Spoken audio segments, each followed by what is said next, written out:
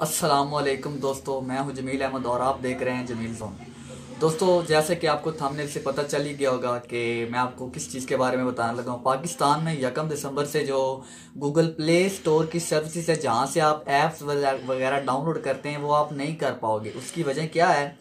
क्योंकि Islamabad Pakistani user will not be able to avail the Google Play service from December one ये मैंने अभी Google पे search किया तो मैं आपको ये बता रहा हूँ कि इसकी वजह क्या हुई है कि जो कि डायरेक्ट कैरियर बिलिंग है डीसीबी जिसको बोलते हैं डीसीबी इसकी एब्रीवेशन है।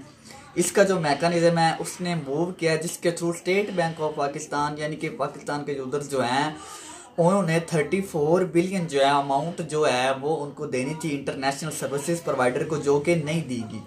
ये रकम 34 बिलियन ना देने की वजह से यकम दिसंबर से गूगल प्ले स्टोर की सर्विसेज़ पाकिस्तान में कोई भी यूज़ नहीं कर पाएगा, ठीक है? इसमें काफ़ी सारी पोस्टेज आई हुई हैं और मैं आपको दिखाता चलूँ। S B S S B P suspended payment of thirty four bile to intel services provider Google Play Store to unavailable in Pakistan from December one. और एक और पाकिस्तान में यकम दिसंबर से गूगल प्ले स्टोर की सब चीज़ डाउनलोड नहीं हो सकेंगी। आपको ऑलरेडी बता चुके हैं और उसकी वजह भी बताई है कि क्यों ऐसा हो रहा है।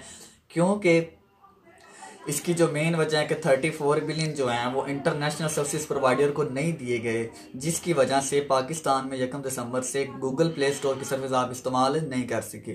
वीडियो अच्छी लगी हो तो बिल, बेल आइकन और सब चैनल को सब्सक्राइब कर दीजिएगा। बस सलाम दुआ में याद रखिए।